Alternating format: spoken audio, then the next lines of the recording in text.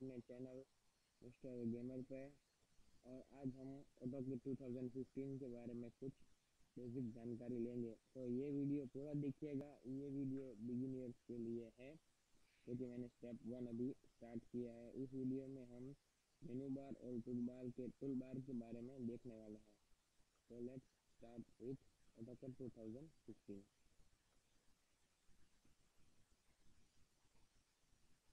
guys auto का 2015 basic version है जिसमें आपको ग्राफिक कार्ड का यूज़ नहीं है। बिना ग्राफिक कार्ड के भी आप ये ऑटो का 2015 चला सकते हैं अपने पीसी में।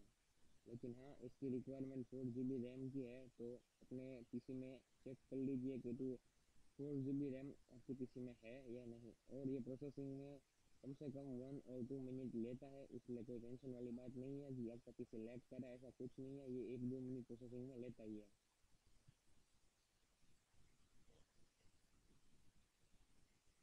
तो ये प्रोसेस होने ही वाला है अभी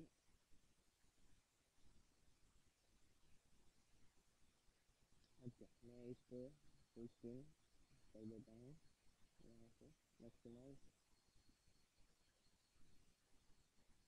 तो अभी हमें ये विंडो दिख रही है और स्टार्ट विथ न्यू ड्राइंग करते हैं तो यहाँ सबसे पहले आप कर्सर पी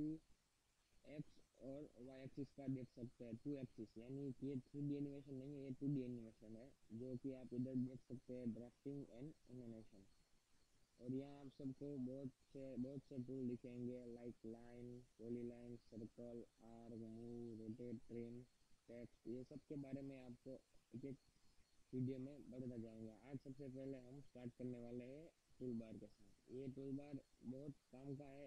अगर आप लोगों को इसमें से कोई भी मेनू नहीं दिख रहा है। तो आप सिंपली यहाँ थ्री लाइन्स पर क्लिक कीजिए और यहाँ से आपको जो मेनू ऑन करना है वो ऑफ़ या ऑन कर सकते हैं।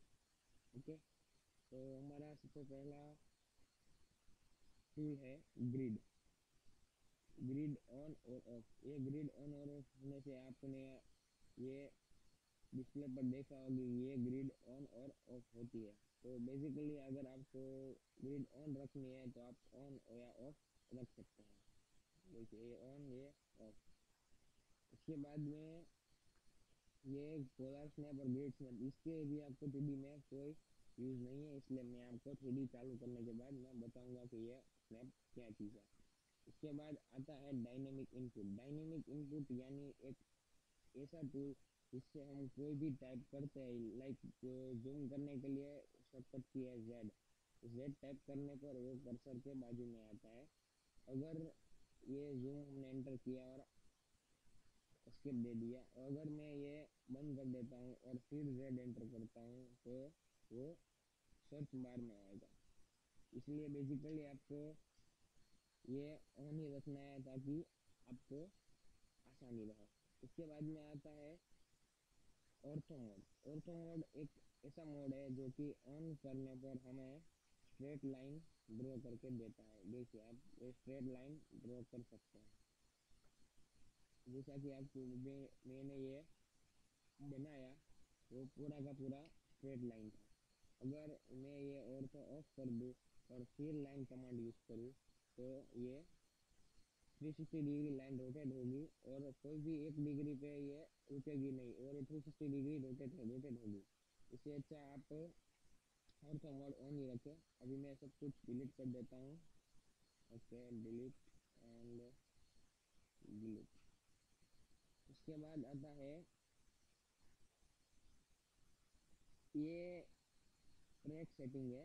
ट्रैक सेटिंग यानी आप 90 डिग्री 45 डिग्री 30 डिग्री 23 80 50 10 और 5 अगर आपको कस्टमाइज करना है तो ट्रैकिंग सेटिंग में जाके आप यहाँ न्यू करके अपना एंगल ऐड कर सकते हैं ओके तो ये बेसिकली यूज़ होता है लाइन अगर एक लाइन 180 डिग्री पे है और उसके बाद लाइन है 120 डिग्री तो आप इस तरीके से लाइन ड्रॉ कर सकते हैं। एंड देखिए ओके मैं डिलीट कर रहा हूँ। इसके बाद है, ये बाकी जो टूल है वो सब थ्री में आपको बताऊँगा। इसके भी टू एनिमेशन में कोई यूज़ नहीं है। ये, अभी हमें डायरेक्ट आ जाना है सेटिंग में सेटिंग में है drafting animation three D basic and three D modelling अगर आप थ्री डी ड्राइंग करना चाहते हैं तो बेसिकली आपको ड्राफ्टिंग एंड एनिमेशन रखना होगा। अगर आप थ्री डी बेसिक करना चाहते हैं, अगर आपको थ्री डी सीखना है तो थ्री डी बेसिक रखिए, वरना थ्री डी मॉडलिंग रखिए। थ्री डी मॉडलिंग में पूरा व्यू आपका ये मेन्यू टूल बार का चेंज हो जाएगा और इसमें अलग अलग नए टूल्स आ जाएँगे।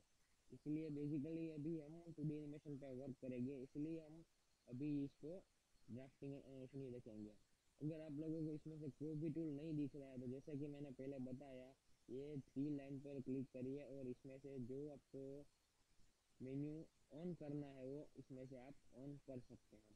ओके गाइस आज की वीडियो में इतना ही। मिलते हैं अगली वीडियो में। Good bye.